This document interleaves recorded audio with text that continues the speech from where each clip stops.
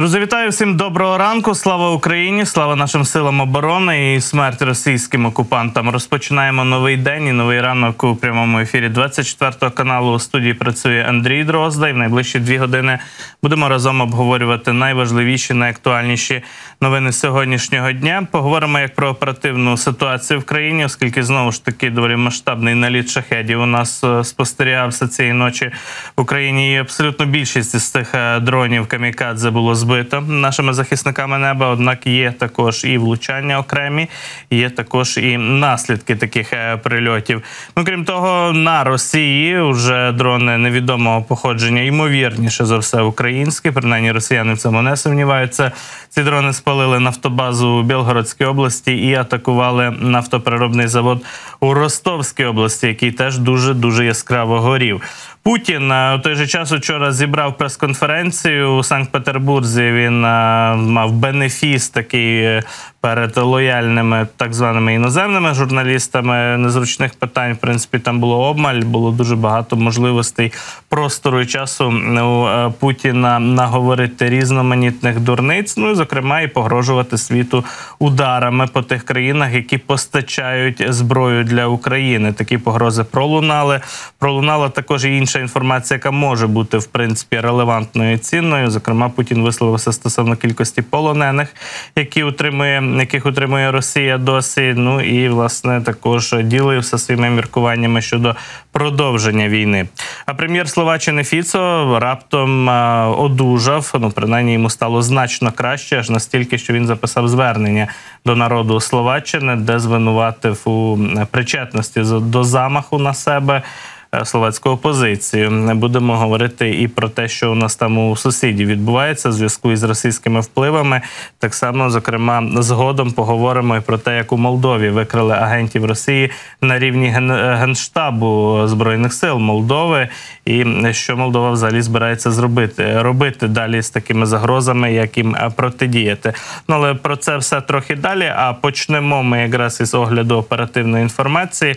Отже, сьогодні вночі над Україною нашим повітряним силам вдалося знешкодити, знищити 17 із 18 дронів камікадзе типу шахет 131-136, які росіяни запускали з різних напрямків. Знову ж таки, ці атаки відбувалися як із півночі, так і ну, в першу чергу, власне кажучи, більшість їх летіло із Приморсько-Ахтарська, з півдня, з Краснодарського краю, з Месачауда і з тимчасово окупованого Криму. І більшість цих е, якраз дронів було збито знову ж таки, як ми е, читаємо у звіті наших повітряних сил е, у Миколаївській, Херсонській, Запорізькій, Хмельницькій областях. Чотири області, які росіяни намагалися атакувати. Бачимо, що з 18 запущених шахедів 17 збито. Це дуже високий показник, і такий високий показник наші повітряні сили демонструють останнім часом доволі регулярно. Те, що стосується якраз дронів шахет, їх переважно збивають майже всі. Майже всі так було і цієї ночі. Також варто додати, що у звіті наших повітряних сил є інформація і про атаку двома балістичними ракетами типу Іскандер М, якраз по Дніпропетровщині. Росіяни намагалися завдавати такого удару. Ну і ці ракети про їхнє знищення наразі не йдеться. Власне протидіяти балістичним ракетам іскандерам, які, як правило, з Криму запускають росіяни по південних і центральних областях України. Їм протидіяти надзвичайно складно. От е, шахедами е, можна, скажімо так, дати раду, позбивати їх, і це ми і побачили у нашому звіті повітряних сил сьогодні зранку. Отже, стосовно наслідків цих атак, стосовно вибухів, які лунали, ми е, наразі знаємо, що у Запоріжжі пролунав такий вибух, але знову ж таки це може бути і результатом роботи систем ППО, зенітних наших підрозділів, зенітників або ж вогневих груп мобільних. Е, відомо тільки, що якраз е, в цю ніч на четвер у Запоріжжі дійсно пролунав вибух. Про це повідомляли місцеві журналісти, зокрема Суспільного. Ну а за декілька хвилин до цього вибуху військові повідомили про безпілотник у межах міста Запоріжжя. Тобто шахет залетів вже буквально в місто Запоріжжя. Запоріжжя. Ну і в Хмельницькій області відбулася пожежа, е, сталася пожежа через удар саме дрона Камікадзе Шахед. Е, Це інформація офіційна, якраз від місцевої обласної військової адміністрації. Е, Там якраз повідомили про те, що вдалося збити ворожий шахет, але на наслідок атаки в одному з населених пунктів області виникла пожежа на інфраструктурному об'єкті. Там працювали всі відповідні служби, ліквідовували цю пожежу. Працівники м, Державної служби з надзвичайних ситуацій, звичайно, що були там на місці присутні. І травмованих і загиблих внаслідок цієї атаки немає. От лише знаємо, що зачепило інфраструктурний об'єкт. Отже, в Запорізька-Хмельницької області вони є в переліку наших повітряних сил, як ті регіони, де збивали російські е, якраз дрони цієї ночі. Ну і також е, російський дрон у Дніпропетровській області в Нікополі влучив у рейсовий автобус. Е, Тут якраз на цю секунду, на цю мить ми не маємо підтвердження від ОВА місцевої Дніпропетровської, чи це був дрон Шахет, але точно підтверджено Сергій Лисак повідомив про те, що через атаку саме ворожого БПЛА загорівся транспортний засіб, автобус, в який влучив російський дрон. Рятувальники оперативно пожежу загасили. Бачимо, що це такий мікроавтобус, ну, який здійснював там пасажирське перевезення і. Всередині в момент удару перебували люди. Це троє чоловіків е, різного віку від 52 до 73 років, і 38-річна жінка. Ну і на щастя, власне. Вдалося оперативно загасити пожежу. Ми бачимо, що удар стався в передню частину автобуса. Ну і судячи по фото цього транспортного засобу, це таки не шахет був. Це був якийсь невеликий відносно дрон. Інакше ну ми розуміємо, що від автобуса нічого б не залишилося, якби це був шахет. Тобто дрони е, російські доволі різного типу атакують е, наші громади, наші населені пункти. Що стосується Нікополя, то туди, на жаль, долітають і значно менші дрони різного типу. Е, Мається на увазі, що вони також становлять загрозу, і зважаючи на невелику дистанцію від окупованих е, тимчасово територій, росіяни атакують Нікополь як артилерію, так і такими дронами. І, відповідно, ми бачимо, що ці е, чи fpv дрони, чи ударні дрони на ворога можуть становити небезпеку для мирних людей, для цивільних людей у Нікопольській громаді, Марганецькій прилеглих громадах, там е, на березі Дніпра постійно такі от атаки відбуваються. Ну і крім того, ми бачили інші численні фото із Нікополя, де було видно, як внаслідок російських ударів, вже зовсім свіжих е, нових ударів за останню добу було пошкоджено різні об'єкти. Це і житлова дев'ятиповерхівка, і інфраструктурний об'єкт, і приватні будинки, щонайменше три за минулу добу. Ну і також е, інші інші об'єкти господарства місцевої громади, місцевих мешканців. Отже, від е, огляду подій якраз у наших регіонах перейдемо до тематики якраз ударів по е, території Росії е, по болотах. Зараз поки не говоримо про застосування західного типу озброєння, саме про появу безпілотників дронів, які атакували. Е, Росіян атакували російські об'єкти нафтопереробки і зберігання нафтопродуктів у кількох російських регіонах. Отже, ці удари продовжуються, продовжуються системно. Ну і в першу чергу згадуємо сьогодні зранку про те, що у Білгородській області відбувся новий удар дронами по нафтобазі. Дрони спалили нафтобазу у Старооскольському окрузі Білгородської області. Про це повідомив так званий губернатор е, цього краю, цього регіону. На- Гладков, от бачимо, настоящий Гладков, хоча його варто вже цей канал в настоящий Хлопков перейменувати, оскільки про хлопки губернатор Білгородщини пише регулярно. І ось він знову повідомляє, що нібито Збройні сили України атакували з допомогою дрона Камікадзе нафтобазу на території Старооскольського міського округу, і в результаті вибуху відбулося загорання одного із резервуарів. Е, Мовляв, е, чотири пожежні машини виїхали на місце і гасили це загоряння. Ну, як правило, значно більше пожежників залучають до гасіння таких пожеж. І знову ж таки питання, чи лише один резервуар зачепило у цій нафтобазі, поки що не маємо. Даних об'єктивного контролю, тобто кадрів е, із місця події, чи то фото, чи то відео кадрів. Ну і також е, можна буде орієнтуватися і на супутникові знімки, які теж можуть зафіксувати масштаб цього удару. Наразі ж бачимо, що влучання було. Принаймні один резервуар вигорів у Старооскольському окрузі. Ще одна нафтобаза була атакована. Зрештою, майже всі нафтобази у Білгородському районі вже так би мовити, витримували так або відчували на собі е, такі удари дронами. І ймовірно, що і в Старооскольському міському окрузі такі удари вже відбувалися. Просто вже не злічити абсолютно тих випадків, коли дрони долітають до нафтобаз у Білгородській, в Курській, в інших прикордонних російських областях і ефективно і влучно їх атакують. Е, В цьому випадку бачимо, ще один такий удар відбувся. Можливо, він був не єдиний, оскільки не раз ми фіксували, що російська влада, так звані представники ці губернатори, представники злочинного кремлівського режиму на місцях, вони не все розказують, не все повідомляють. І Гладков він у тому числі якраз серед таких професійних брехунів, звичайно, що е, постійно фігурує. В Ростовській області на півдні Росії тим часом е, дрони теж невідомого походження. Ясно, що росіяни кажуть про те, що це українські дрони. Отже, ці безпілотники двічі, двічі за цю ніч атакували Новошахтинський завод нафтопродуктів. Великий завод по ньому вже били, били минулого року дронами. Цього разу знову там виникла масштабна пожежа.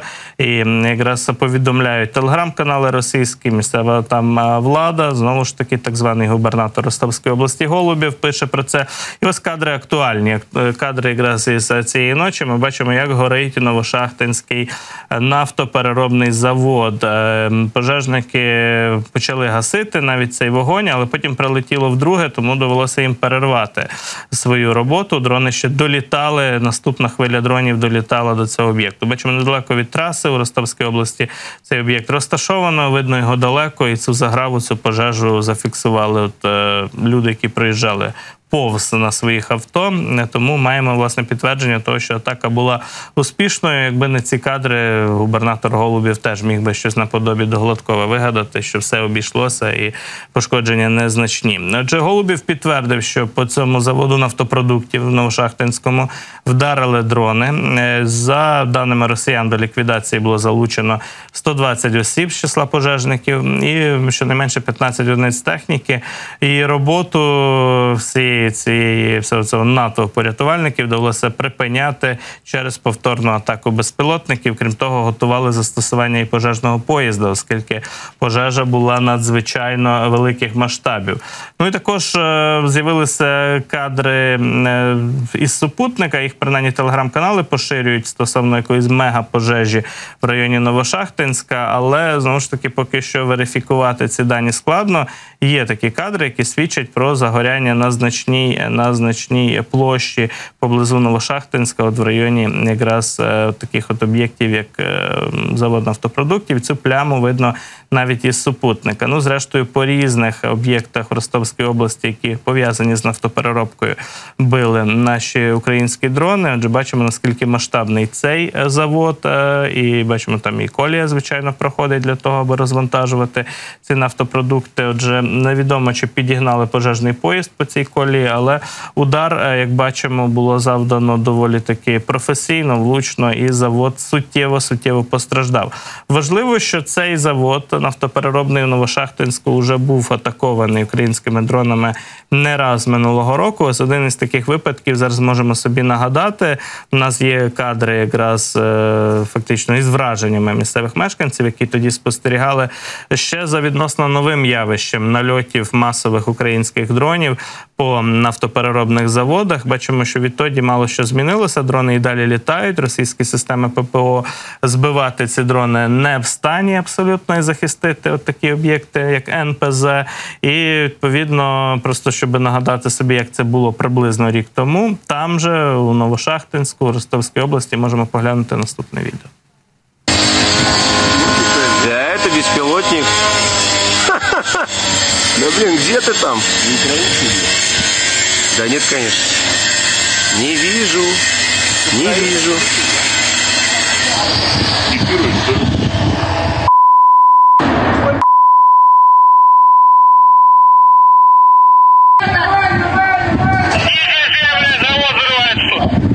НПЗшку бахнули.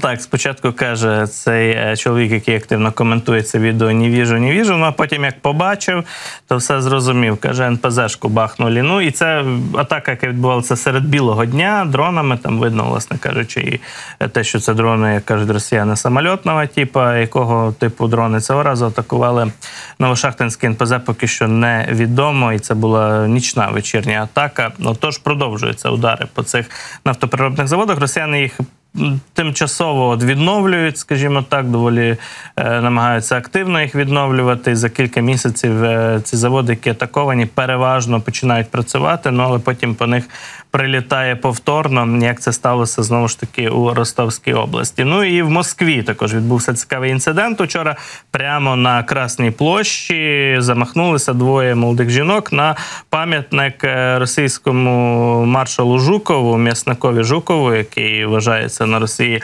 героєм Другої світової війни, який зрештою приймав і парад перемоги в Москві. І от е, на Красній площі стоїть е, цьому російському воєначальнику пам'ятник.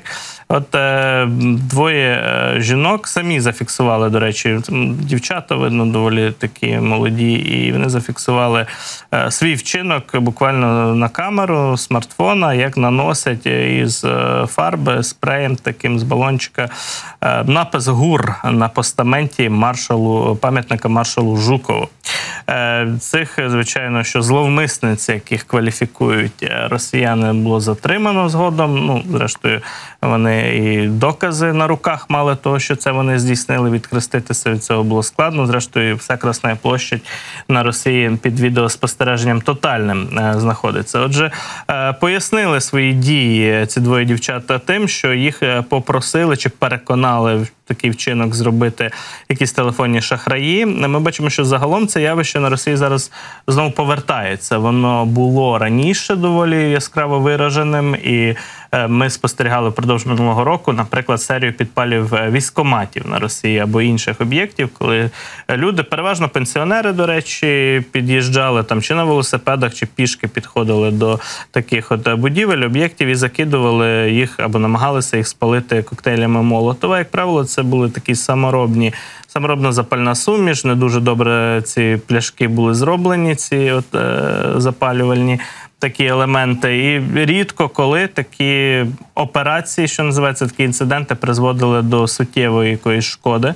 Переважно це все кваліфікувалося. Ну можна було кваліфікувати як якесь хуліганство чи вандалізм, але багатьом із е, учасників, от власне цих спроб підпалів, дали цілком реальні терміни у в'язницях, і наслідки для них були доволі важкі. Всі вони пояснювали, що їх переконували тоді е, йти на такі кроки, якісь телефонні шахраї, які обіцяли списати борги, кредити, е, якісь інші фінансове фінансову винагороду е, пропонували і обіцяли.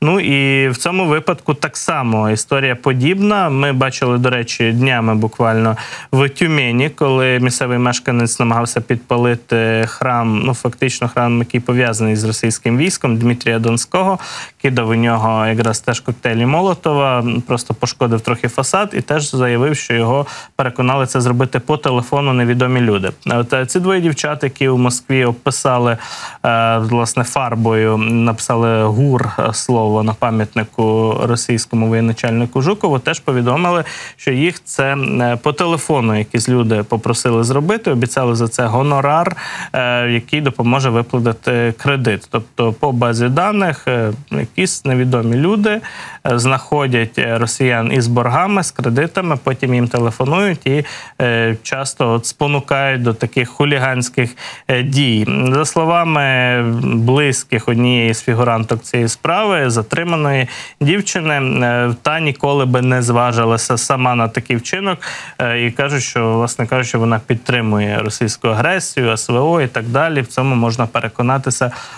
Погортавши її е, соцмережі, тепер обом затриманим росіянкам загрожує до п'яти років позбавлення волі. Ось е, така, от е, ніби показова історія. Насправді, що ну згодні йти на подібні речі багато росіян, от якраз під впливом різних фінансових аргументів, скажімо так, скрутних ситуацій, в яких вони опинилися, але от карають їх за це часто доволі таки суворо. В цьому випадку, ну можливо, обійдеться якимось умовним умовним умовним покаранням. Зрештою, е, фарба із постамента змивається і змивається доволі легко.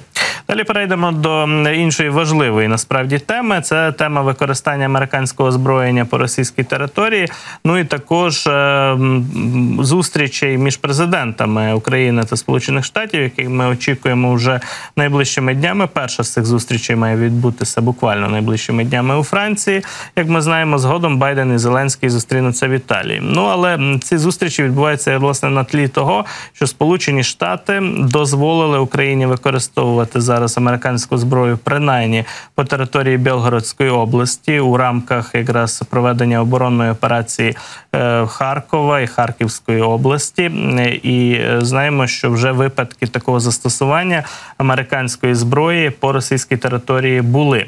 Про такі випадки пише і Associated Press, інформаційне агентство, е, яке посилаючись на свої джерела, повідомляє, що Україна вже використовує і вже є випадки підтвердженого використання американської високоточної зброї, такої як системи Хаймарс, по території Росії вже після того, як це дозволив е, зробити американський президент е, Байден. Отже, українські військові, мовляв, як пишуть про це журналісти Associated Press, використали американську зброю, саме Хаймарси, для ударів по Білгородській області. Джерелами Associated Press в цьому випадку виступає один високопоставлений чиновник Сполучених Штатів і один із е, сенаторів. От сенатор навіть цілком публічно коментував це для журналістів. Це сенатор від республіканської партії, член комітету збройних сил Майкл Раунс, який підтвердив факт завдання ударів з боку збройних сил України на американською зброєю, але він не уточнив звідки як він отримав такі дані. Де мова про знищення російської батареї ППО,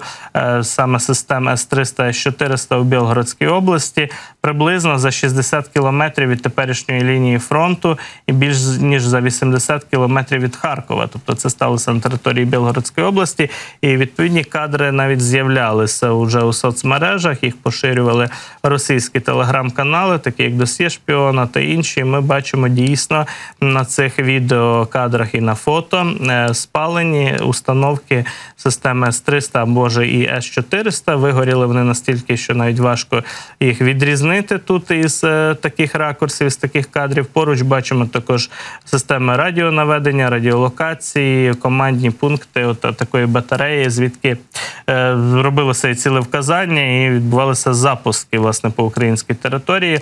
Е, від таких ракет С-300 Харків дуже страждає. І бачимо, що було завдано, що називається удару у відповідь або ж превентивного удару, аби ці системи більше ніколи не були задіяні. Росіяни їх втратили назавжди у військовому керівництві України. Поки для Associated Press е, цю операцію і такі факти застосування зброї офіційно не коментували. Ну але розуміємо, що фактично вже пройшов якийсь час від погодження американською стороною подібних ударів. І от е, західні медіа пишуть, що удари відбуваються, тобто все гаразд, процес рухається далі. Ну а тим часом е, щодо того, як сприймають зараз, от е, такі рішення, е, фактично погодження кожного кроку української армії протидії російської агресії, як їх сприймають в самому американському політикумі, поговоримо про це зараз. Буквально за кілька миттєвостей у нашому ефірі з гостем нашого ефіру повернемося до мовлення. Буквально за кілька секунд залишайтеся з нами.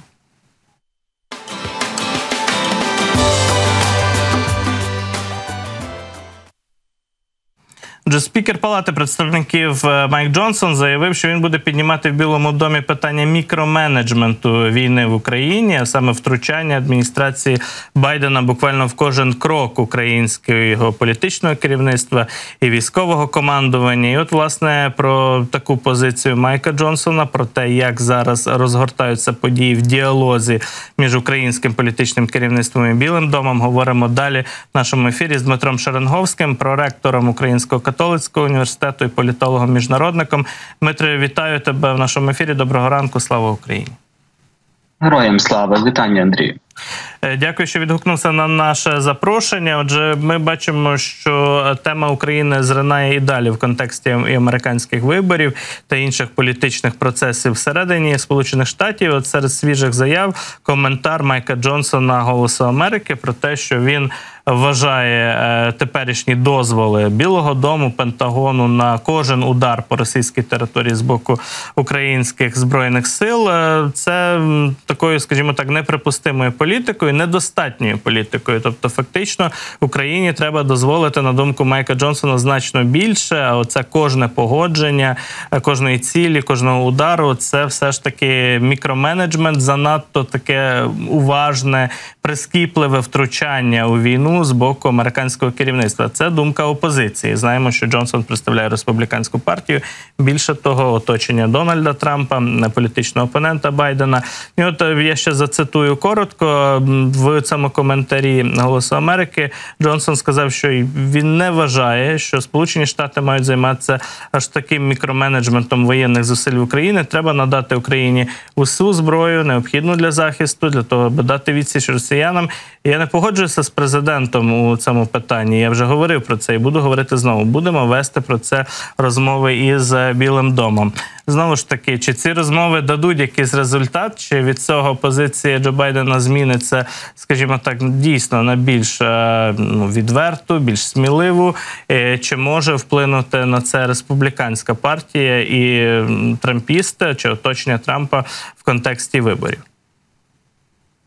Так, е, питання є дійсно цікаве, чи воно змінюється. Так, ми, ми, ми бачили, що позиція змінюється. Так, навіть те, що надали сам по собі дозвіл. Я пам'ятаю, там кілька тижнів тому ми обговорювали з тобою це на ефірі, і коли що це витало в повітрі, я тоді говорив так, що е, будуть протискати це питання, і е, будуть цей суспільний, ніби тиск і партійний тиск. Він він буде створювати е, зміну позиції. Так, тобто, ми зараз станом на зараз маємо її. А питання, чи чи дійсно це є такий певної форми мікроменеджмент? Ну ну звісно, що так. Та тобто, ми всі розуміємо про те, що а, власне команда Білого Дому і безпосередньо а, радник е, Джо Байдена Саліван, ось а, е, дуже сильно. Тисне на це питання, е, як кажуть, управляє цією ескалацією, так і е, і звичайно вибори тут відіграють найбільшу е, роль, тому що Джо Байден за всіма опитуваннями не є лідером так перегонів.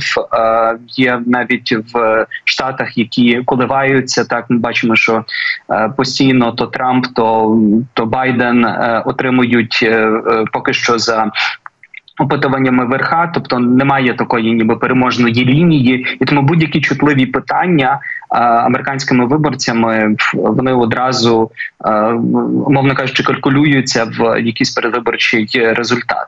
Ну і на жаль, питання допомоги, так питання використання зброї, це є одне з тих чутливих питань. Ми з цим стикнулися вже достатньо давно. Однак мені здається, що ось оцей тиск і запит не тільки від республіканців, так від частини демократів також існує він. І плюс, а, звичайно, що і ми тиснемо так, пояснюємо. І з іншого боку, і використання безпосередньо, тобто досвід використання американської зброї, не тільки американської зброї для обстрілів на російській території, так він з, з часом буде призводити до того, що цього мікроменеджменту буде ставати все менше і менше ну об'єктивно не будуть кожен день а, займатися а, погодженнями цих речей. А, в, особливо це буде ставатися, коли все більше і більше країн будуть доєднуватися, так і давати дозвіл на використання своєї зброї. Ми прекрасно знаємо, що навіть не всі європейські країни на це погодились. Тому це процес, це буде час займати. Однак, так само як я був впевнений, що це питання буде просунуте, і сам по собі дозвіл буде наданий. Так само я думаю, що цей мікроменеджмент е, з часом буде е, пропадати. Е, тобто це лише питання часу. Ми ж бачимо просто, що в ході власне президентських перемовин Джо Байден йде на такі кроки, які раніше можна було би приписати республіканцям. Це, наприклад, більш жорстка позиція стосовно мігрантів, які перетинають нелегально кордон Сполучених Штатів і Мексики. Їм не будуть надавати, наприклад, притулку. Так такий указ нещодавно президентський був оприлюднений. Ну і здавалося би, що це непритаманна для Байдена політика. І знову ж таки зараз бачимо, що ну табір вибір Трампа, його оточення, його команда, до якої точно Майк Джонсон відноситься, можна його туди приписати. Тисне і на тематику, власне кажучи, нерішучості, на тезу нерішучості адміністрації Байдена щодо російської агресії, щодо підтримки України. І тут е, вже раптом е, раптом ці республіканці, навіть з оточення Трампа, мало не найкращими друзями України, нашими союзниками виглядають. Знову ж таки, це більше поза політична, і чи справді вони будуть дотискати Байдена до якихось більш, скажімо так, рішучих відвертих рішень в найближчі місяці. Ну, вони будуть критикувати. Ми знаємо конкретно, що будуть партійні з'їзди, так які будуть номінувати своїх кандидатів. Вже це достатньо скоро буде відбуватися, і тому будь-яка можливість для того, щоб вщипнути демократів і Байдена безпосередньо буде використана республіканців, особливо враховуючи е, ту ситуацію, що е, ми зараз маємо купу кримінальних справ, які е, відкриті проти Трампа. Так і маємо його перші програші, і звинувачення. Е, офіційні, ну і власне програші, та тобто судові рішення. Е, тому потрібно відігруватися. Так нам ситуаційно це зараз на руку. Ми бачили також, що досить довгий період часу е, протрампійські кола власне блокували і допомогу, і фінансову допомогу. Ми пам'ятаємо всі ці абсолютно історії. Так однак це також супроводжувалося постійним тим наративом про те, що команда президента Байдена не дає чіткого плану. Його немає. Так немає всіх тих відповідей на ці всі питання. І зараз, оскільки є а, також нагода а, от протидіяти і вщипнути за а, за питання такого мікроменеджменту, питання неефективності, республіканці будуть, звісно, що розкручувати цю карту, так вимагаючи того, що адміністрація робить недостатньо. От і, і воно накладається дуже на ту риторику, тому що ми дійсно бачимо що вибудовуючи таку обережну політику, аби це тільки не відобразилося на підтримці виборців, на яку зараз зважають демократи у світі знову ж таки. Ми, ми не маємо лідерства ні того, ні іншого кандидата. Станом на зараз більше того, багато опитувань показують, що потенційно Байден трішки відстає. Тому це все дуже чутливі питання для демократів, для його для їхнього. Для їхнього виборця, так і на цьому дуже легко грати. Тому це все знову ж таки накладання багатьох багатьох питань. Але я впевнений, що е, якщо будуть знаходитись, якщо ми будемо далі бачити такий мікроменеджмент, якщо ми будемо бачити далі таку нерішучість, яка особливо буде призводити до е, ну до важких питань нашій лінії, так. Е, Поля бою, то республіканці будуть більш жорсткіше на це реагувати, тому та я впевнений, те, що е, з часом е, це питання буде розконсервовуватися, особливо якщо нам вдасться залучити все більше і більше європейців, які би давали дозвіл на використання своєї зброї. Ну і це власне те, що буде відбуватися е, і на саміті, і на зустрічі е, групи семи. Це буде також одне з тих е, питань. Е, це знову ж таки супроводжується питанням Рамштайну групи координаційної, так де вже лідерство перебрало стало фактично НАТО як структура, не тільки Сполучені Штати, тобто ну з різних боків підходить е, до цього питання. Дмитре, чи можна розглядати не участь президента Байдена вже підтверджено на саміті миру в Швейцарії, як прояв нерішучості його команди. Хто знову ж таки Байдену радить на цей саміт не їхати, з яких причин? Адже ми знаємо, що ну фактично в ці дні президент США буде перебувати в Італії на саміті Групи Семи і міг би затриматися на якийсь час, невеликий час, може півдоби, аби відвідати також Швейцарію. Але натомість їде Камала Харріс, віце-президентка Сполучених Штатів, у супроводі Джейка Салівена, радника з питань оборони президента США. Отже, про що це свідчить, і чи це означає, що ну фактично самі цей Сполучені Штати розглядають як ну непродуктивну подію, таку на яку главу держави не варто відправляти? Тут є Знову ж таки кілька площин. Так, це це важке питання. З одного боку, ми бачимо так. Далі Саліван і команда не тільки він, але так виходить зараз, що наш наш такий антигерой є е, Джек Саліван. Так і і його ідея в тому, щоб не зашкодити виборчому процесу. Його ідея в тому, щоб власне проводити таку контрольовану ескалацію. Цей термін ми також дуже добре вивчили, і, і, і пов'язаний тут Та тобто е, скептично ставляться штати щодо цього самого форуму швейцарського. Ну і з певної певній мірі він це зрозуміло. Чому тому, що дуже дуже багато країн. Зазвичай, ніби коли ми маємо дуже такі багатосторонні формати, так ми не можемо мати якусь таку певну конкретику, і тут дуже багато е, інтересів Сполучених Штатів ще накладаються. Так і е, є багато риторики, принаймні серед е, аналітиків, про те, що штат ну, Байден не хоче брати якогось особистого зобов'язання на цьому форумі, яке може спонтанно спонтанно виникнути. Ось і е, з тим також пов'язано, наприклад, і а, в Вашингтоні так е, з'їзд НАТО, е, з'їзд альянсу, де вже попереджено про те, що Україні не варто сподіватися там якоїсь запрошення на членство, будуть розглянути питання. Е, фінансової підтримки, дуже великої фінансової підтримки, так е, з боку країн е, НАТО і залучення усіх, тобто розподілення цієї підтримки, буде розглянуто, наприклад, питання також далі координації координації допомоги в рамках Ремштайну. Однак не потрібно мріяти, ніби занадто багато, і от ця вся риторика повільних таких от кроків, це те, чим зараз живе адміністрація. Знову ж таки, це пов'язано з виборами. Я погоджуюся, що це пов'язано з нерішучістю. Врешті-решт, е, вони також будуть приходити до тих рішень, як ми бачимо, врешті-решт, всі приходять до тих рішень, е, які е, потрібно було зробити вже давно. Однак е, дійсно на жаль, це те, що е, трапляється, і попри наш тиск, попри розмови, е, попри тиск і е, частини демократів, частини республіканців, ну ми маємо ситуацію, яку ми маємо. Е, вона я не скажу, що вона є там аж надто такою ганебною. Вона є точно неприємна е, і ну от. Вона вона показує, скажімо, не всій красі так е, політику адміністрації Байдена, яка е, все таки намагається бути такою більш спокійною, консервативною. Хоча вже всім давно зрозуміло, що от. Є кілька тих питань, де е, де Байден може виступити і показати це це лідерство. Ось і і цього багато хто очікує, але якісь такі побоювання, щоб не зірвати виборця, так е, не не зіпсувати собі рейтинг. Ну на жаль, це має місце зараз.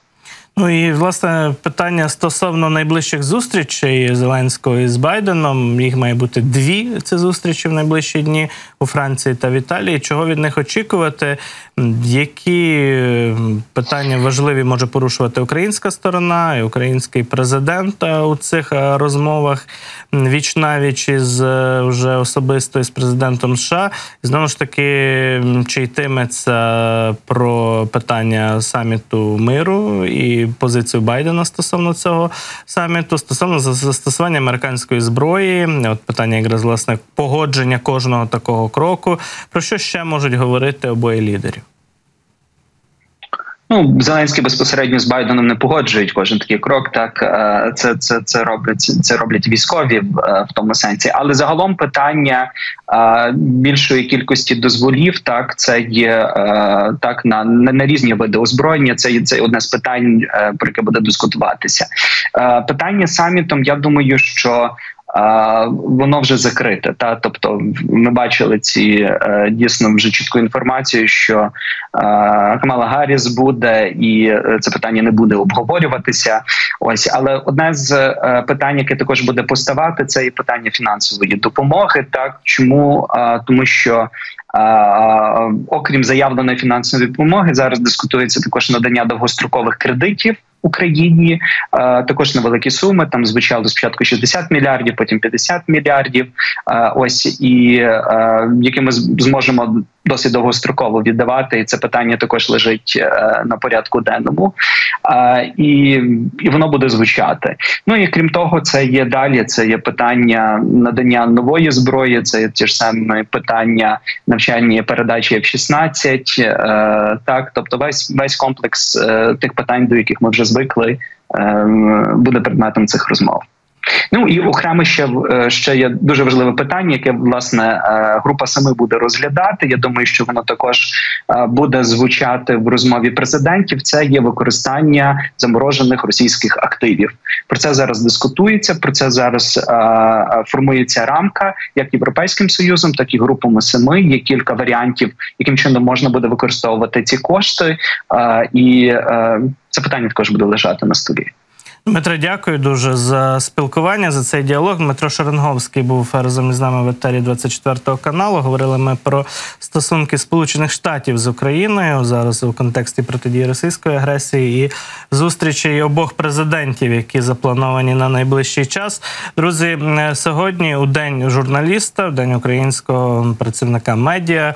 е, Ми разом долучаємося з нашими колегами із ключових українських медіа, з ключових телеканалів до великого збору на легендарні морські дрони Магора В5 і збираємо спільно 10 мільйонів гривень на один такий дрон для головного управління розвідки Міноборони України. І просимо вас долучитися до цього збору. То учасниками цього збору є представники телеканалів, які беруть участь в національному телемарафоні, а також і 24 канал, як один із провідних інформаційних каналів країни. Знаємо, що дрони Магора В5 дуже багато вже росіянам шкоди завдали, потопили більше десятка російських кораблів, інших суден на суму понад 200 мільйонів доларів. Тому ці 10 мільйонів гривень, які ми зараз інвестуємо, кожен із наших глядачів потрішечки з своєї кишені, можуть принести величезний, величезний успіх на морі і завдати ворогу дуже болісної серйозної шкоди. Тому, будь ласка, долучайтеся за QR-кодом на екрані, донатьте і підтримуйте, будь ласка, як і наш канал, так і в першу чергу наші сили оборони, головне управління розвідки і наших військових, які протидіють ворогу якраз у Чорному морі.